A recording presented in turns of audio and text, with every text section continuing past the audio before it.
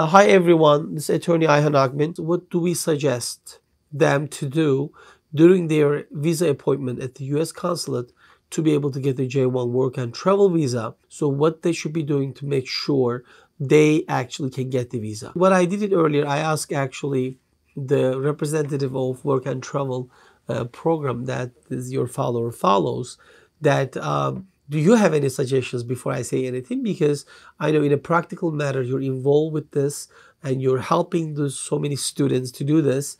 So his answer was, he thinks and he says um, the work and travel program visas are one of the easiest visas to get um, because all your applications or, or file is being prepared and ready beforehand.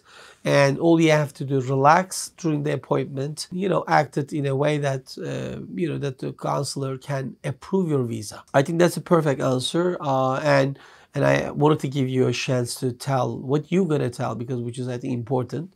Uh, and i'm verifying that. You're definitely right. Uh, secondly what i could tell is this. The point is here the type of visa you're going to get, uh, it's ba basically uh, has requirements. So, and one of the most important requirement of the part in that is you have a sponsor company, right? Or sponsor involve approving your DS form. So when there's a sponsorship and then that sponsor approves you to get the J1 visa, and that means you're being actually analyzed, your requirements being checked by them. So it's something like an initial check before the consulate gives you visa.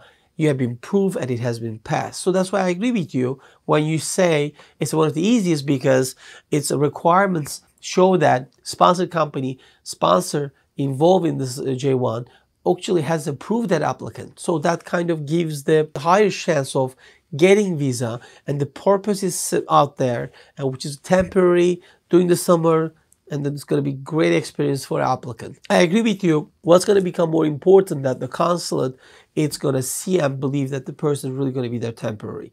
If that's the case, you will get the visa. You'll, you'll be able to come.